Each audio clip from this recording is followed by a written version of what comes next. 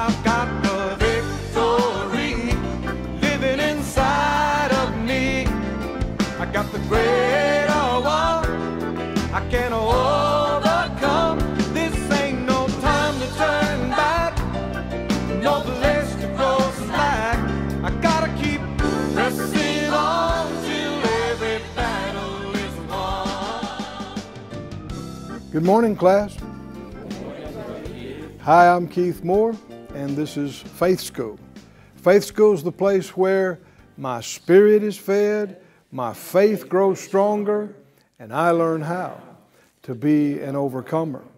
We say that because uh, we immediately get our words working on this happening and not wait till halfway through the class. We believe it's happening right now. The scripture said, Let the weak say what? I am strong. So, uh, no matter how weak you feel or how much of a lack of knowledge you- you're experiencing, uh, it doesn't pay to talk how you feel. Faith calls even those things that be not as though they were. So we call ourselves strong, we call ourselves bright, we call ourselves growing, we call ourselves overcomers, victorious ones. Get your Bible and something to make a note with. Come on into the class with us. We've saved you a seat right up here in the front. Let's pray, release faith that we will receive exactly what, uh, not just what you think or what I think, but what the Lord knows that we need for today. We ask it, Father.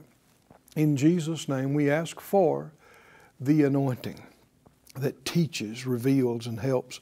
We ask for the quickening of your Holy Spirit. We ask for answers. Uh, help us to see things we haven't seen before and to understand things and to uh, see how to put it into practice and be those that do live by faith and walk by faith and overcome by faith, those that please you well in this life and in all things and accomplish your will and purposes. We ask for it. We make ourselves available. We present ourselves to you for this. In Jesus' name, amen. Thank you, Lord. Look in um, Uh, Hebrews, please, the 10th chapter, and let's continue in our study of that we're calling by faith. In our text, we see here in the 10th chapter, in the 35th verse of Hebrews, it says, Cast not away, therefore, your confidence. It has great recompense of reward. You have need of patience that after you've done the will of God, you might receive the promise. We said confidence is another word for faith. It's actually used in the definition of faith. In Hebrews 11:1 in the Young's literal translation, it says faith is of things hoped for, a confidence. But confidence in what? In who? Our confidence is not just in ourself and in our knowledge and abilities. Our confidence, uh, and, and let me say this too, your confidence should not be overmuch in the knowledge of men. Uh, remember, uh, you hear some people say, well, I, I don't go for all that, you know, mystical, spiritual stuff. I'm a man of science. I- I'm a man of, uh, or somebody says, I'm a woman of education, and, and, and you know, I'm a person of science. Uh, Remember who wrote those books? People like you with imperfect knowledge. The, the cutting edge scientist three, four, five hundred years ago, much of what they were sure of has been proven wrong. Well, if the world stands, what about another 200 years from now? Huh? I mean, just in the last 20, 30 years, I've seen book after book written about things that this was a cure for this, this was an answer for this, this was, and come to find out that's not right. They found out in 20 years it wasn't right. Found out in 30, 40 years it wasn't right. Remember when you are reading after or listening to something that another human being, imperfect in knowledge, just like yourself, wrote. Do not make it an infallible standard when it is not. But if God is real, and if the Bible is His inspired word, it is an infallible standard. Hallelujah. And it is. And the person that said they found errors and mistakes in it does not know what they're talking about. They just found some things they didn't understand. There's been numerous times I've seen things in the Bible, in the Word, that didn't seem to agree. I didn't quite understand it. But sometimes 10 years later, uh, the Lord showed me and I go, oh, oh, it agrees perfectly. It's just imperfect in knowledge. But this is perfect. I didn't say every translation of it is perfect, but the original word is perfect. And we see in this 11th chapter of Hebrews that he's talking about people who had faith in a perfect God and his perfect word. And he mentions individuals. All through these verses, when we get down to verse 32, he mentions six individuals in the same verse, and one of them is Samson. We've been studying Samson this week back in Judges uh, 13 and 14. Now, if you want to turn back there and look again. But when Samson is mentioned in Hebrews 11:32, why what's he mentioned for? Why is he there? Because of his faith. His faith. Uh, I think people tend to think of Samson as just being a real strong guy and not necessarily a, a man of great faith. But you don't get in Hebrews 11 and, and not have faith. He's mentioned because of his faith. In uh, Judges 13, we saw that before his birth, the angel appeared and spoke to his mother and gave her very specific instructions that he was to be a Nazarite. Not, not Nazarene. We talked about that. That's not the same thing. One separated to God. And he was to be separated God, to God not just for a temporary uh, period of time, from his birth to his death. He was to be separated to God. You could say it like this He had a call on his life. He had a call on his life, a divine destiny. God intended to use him. He had already told his parents before he was born what for. God intended to use him to raise him up as a champion, as a hero, as a deliverer, to, to get his people out from under the thumb and the oppression of the Philistine forces. And as such, he was to have these signs of his separation. Now we're going to talk about that further as we go, but why, why would you why, why would you have signs of separation? Well, because God should get the glory. Hmm? Not, not the instrument. What could Samson do without the anointing of God? Nothing. And so these Philistines and these other ungodly nations and groups around them, they don't even believe in God. They don't, uh, not necessarily, or they certainly not enough to serve Him or, worship Him.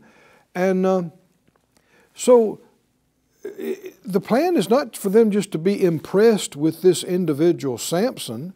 I mean, uh, back in those days, they could wind up trying to worship him or something. That, they thought he was some huge thing. No, it was the God who's using him. It was the God who heard the prayers of his people. That God is delivering his people and is using this man. And this separation of his not cutting his hair and of him being separated from certain things and diet and drink and that kind of thing that's an outward sign that he is a vessel of God and for God to get the glory. And that's why it's, it's something not to be trifled with, this separation. And the signs of this separation are, are not to be uh, treated lightly. Now we see that uh, when he was born in 1324 and 25, uh, the child grew, the Lord blessed him. The Spirit of the Lord began to move him at times in the camp of Dan between Zorah and Eshtaol. We, we compared this to what happened with David when he was a boy out with the flocks. and how that the Spirit of God came on him and he, uh, he, he protected the flock from a, a bear and from a lion and, and had found courage and confidence and ability. And then when it was time for him, even as a youth, to face Goliath, he, he used that confidence that he got from that victory with the lion and with the bear. And he had full confidence to face Goliath, uh, the Philistine giant. And so we see here that uh, this kind of thing is coming up in uh, Samson's life, but he's experiencing it even as a youth, even as a boy. Now, in the 14th chapter, uh, we're, we're going to look at the circumstances of this a little bit later, but verse 5 says Samson went down with his father and mother to Timnath, and he came to the vineyards of Timnath, and behold, a young lion roared against him. Now, in those days, uh, it's still this, this way today in, in places, but especially then, not nearly as much development and infrastructure. Wild beasts were a problem. I mean, you, uh, in many places, you could be in danger just leaving the house. Well, they encountered a lion, uh, and a young lion. And verse 6 the Spirit of the Lord came mightily on him, on Samson, and he rent him, he tore him as he would have rent a kid, a baby goat. And he had nothing in his hand, but he told not his father or his mother what he had done. This is amazing, isn't it? The, um, the complete Jewish Bible says it like this The Spirit of Adonai came powerfully upon Samson, and barehanded he tore the lion to pieces. this is something. now, don't try this at home. you don't go hand to hand with a lion. and yet, uh, like, like we said yesterday, you know, people read this and they scoff and they mock and they go, oh, that's ridiculous. That's, that's a myth. That's a fantasy. It's a tale. Uh, if it is, you should get up and leave this class right now. And, and you, sh- you don't need to keep this book anymore either. You understand? No, because if that's a myth, then I reckon the virgin birth is a myth, and the literal physical resurrection of Jesus is a myth, and creation account is a myth. And there's people that, that believe that. They say they believe that, and it's sad that they do, because as long as they believe that lie, the, the psalmist said, The fool has said, There is no God. God calls people fools that deny his existence. And it is sad what your existence will be like uh, without God, and the fear of death. You cannot get free from the fear of impending death. Your whole life long, you're subject to bondage. No, if part of this is true, all of it is true. Huh? And it is true. It is the infallible, living Word of God, perfect Word of God. So this happened just exactly like you read it. This lion thought he had found lunch. and normally that would have been the case. He would have jumped on this man and ripped him apart and ate him, and there wouldn't be nothing to write about.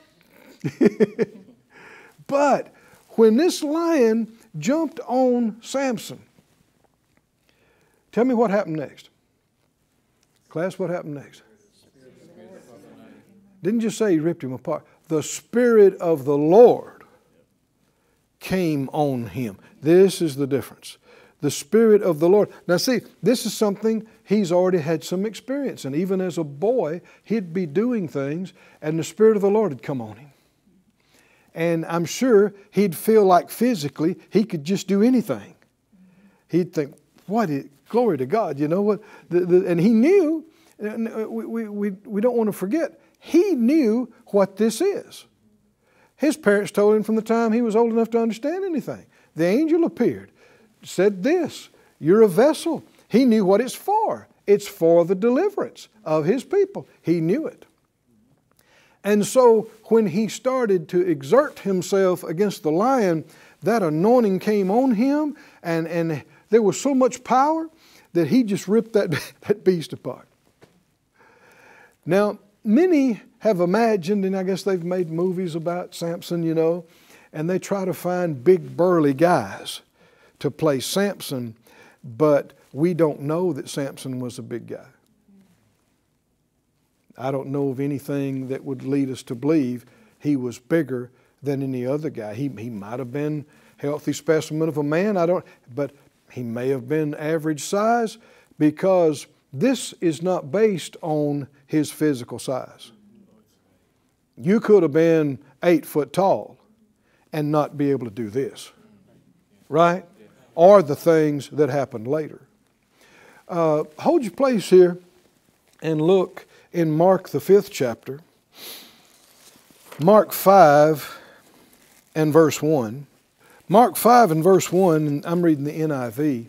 It says, They went across the lake to the region of the Gerasenes, and when Jesus got out of the boat, a man with an evil spirit came from the tombs to meet him. This man lived in the tombs, no one could bind him anymore, not even with a chain. For he had often been chained, hand and foot, but he tore the chains apart and broke the irons on his feet, and no one was strong enough to subdue him. Again, we have no reason to think that this is a giant of a man. In fact, reading the rest of the passage, he lived out in the tombs and he was out of his head, crazy. And he cut himself and lacerated himself with stone. Well, living like that, you're going to be emaciated. I mean, he loses blood doing all this stuff. This strength of breaking chains and shackles is not natural, it is spiritual. There are spiritual forces at work. And it was manifesting through this man, evil spirit. The, the very strength that we have in our natural physical body, able to stand, able to sit, able to walk, where does it come from? You know, people might examine and say, well, you know, your heart's beating and the flow of nerve energy and, and uh, uh, the twitching of muscle fibers and the contraction. Okay, but where does that force come from? That what it comes down to in scientific study is life force. Okay, what is that? You can't see that. You can't put that under the microscope. What, what is that? And people say, well, you know, it's, it comes from the brain. It doesn't come from the brain.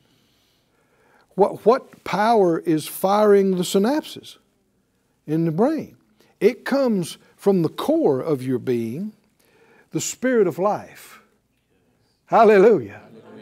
And that, that spirit uh, that's alive came from the Father of spirits. Hallelujah. Hallelujah. Who's also the Father of life. Well, that's why you have some strength it's, a, it's a, from a spiritual source. Well, uh, if it's spiritual in source, it could be enhanced. it could be boosted by, uh, you know, the Holy Spirit. You know, if the Holy Spirit puts His life force on top of your life force, you got something. you got you got a strong force, and even the enemy, obviously, is able to boost, you know, uh, human strength through spiritual influence. But again, this is not because Samson was some hawk of a man. And, and the reason why people do that is because they're only natural and they can only think natural. And so they think it ha- he had to be biggest, strongest man in the world. No, like we said, if you're eight foot tall, you still can't rip lines apart like that and you can't do the other things he did. This was not about his physical conditioning or the size of his body. Go back with me to Judges 13, uh, 14. This, uh, let me say it like this 1325, the Spirit of the Lord began to move him. 14.6, the Spirit of the Lord came mightily upon him. Does the Spirit of the Lord still come on people today? Yes, He does. I'm convinced He wants to come on more people, a lot more people of God's people, if we would learn how to yield to Him.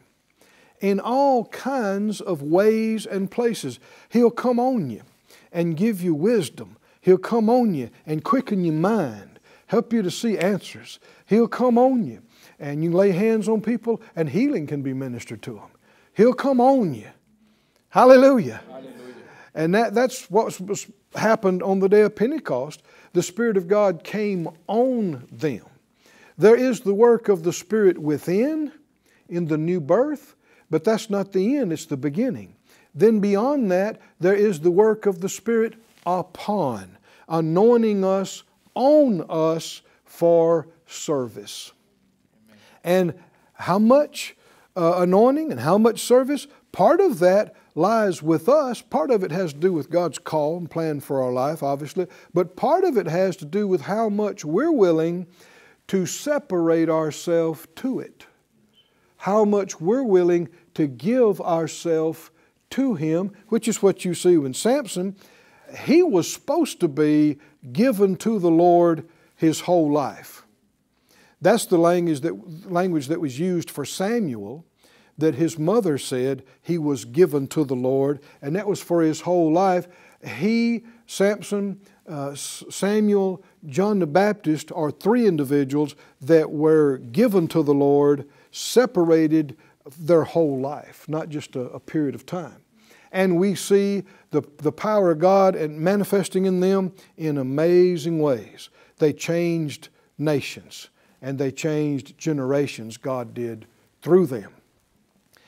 We see here that, uh, uh, and I'm, I'm, skipping ahead, but I'm, I'm going to come back, that uh, when they had this episode with uh, his wedding party, that um, the men tricked, you know, or pressured his wife and got the answer to the riddle.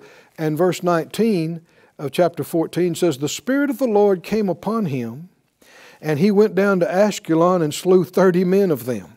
One guy kills 30 and took their spoil. And then in the 15th chapter, after he had uh, burnt down the crops of the Philistines, uh, they came to get him. And um, his own people came to get him because they said, Do you not realize that the Philistines control us? They're in power here. And he said, Well, just tell me that you won't turn me over to them. And they said, we, uh, or you won't kill me. They said, No, we'll just tie you up and hand you over to the Philistines. And he said, Okay, he agreed to that. And the Bible said in verse 14, 15 14, 15 14, when, when he came to Lehi, the Philistines shouted against him. They thought, we got him. I mean, he's tied up and presented here in a package. And they shouted, and, the, and what happened next? Read it. What, what happened next? The Spirit of the Lord came mightily upon him. Now, this is something you won't see the movies emphasize.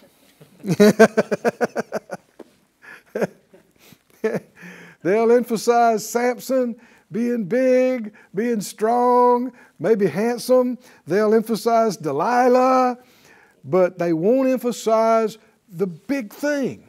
This is the big thing. The Spirit of God came on him. Why? Because then you're going to talk about God. Now you're talking about God. The Spirit of God came on him. There is no story without that phrase. Everybody see that and understand it? There, there is no story without that. Because that was the precursor for, for the miracle that happened next. The Spirit of God, the Spirit of the Lord, came mightily upon him. And the cords that were upon his arms became as flax that was burnt with fire, and his bands loosed from off his hands. Now that's amazing. I reckon you could have put a, a giant set of iron handcuffs and shackles on him, and when the Holy Ghost came on him, pop. just, just pop into pieces. this is not because Samson's so amazing. This is because God is so amazing. And this anointing would come on him. Should we be interested in this anointing? Huh? Should we, the Bible said we, are to, we should covet earnestly the best gifts, talking about the manifestations and gifts of the Holy Spirit. We should hunger and thirst after the power of God, uh, seeking these anointings coming on, and not just for us individually. Uh, uh one individual is not going to have all these different anointings, but we want to see them in our midst. We want to see them in the church, right? We just want to, yeah, we want to experience whatever we're supposed to experience in our life, but we want to see all the varied manifestations of the anointing throughout the church. Say, say it out loud, Lord, we hunger for them. We desire them. And so uh, uh, the, the bands just popped off of him, and he found a new jawbone of an ass. A donkey had died, just fresh uh, corpse. And he, he grabbed that jawbone and took it and slew a thousand men therewith. wow. and, and, Samson said, With the jawbone of an ass, heaps upon heaps, with the jaw of an ass have I slain a thousand men. this is like a, a verse. Uh, a poem verse, if you will. The NIV says, With a donkey's jawbone, I've made donkeys of them. With a donkey's jawbone, I killed a thousand men. How did it happen, class? How did it happen? The Spirit of the Lord. Where do we see uh, Samson's faith? He had faith in that anointing, he had faith in that power. Why would you grab a jawbone of a donkey and face off with a thousand men? Why would you do that? Because he had confidence, he had faith in that anointing coming on him that it would enable him to do anything. And he kept swinging and he kept swinging, and, and the scripture says he piled them up. well, a thousand piled them up. And what's happening? God is delivering his people from the oppression of these Philistine ungodly folks. And that's all our time for today. Say it out loud I live by faith, I walk by faith, I overcome the world by faith, I'm strong in faith, giving glory to God. We'll see you next time in Faith School.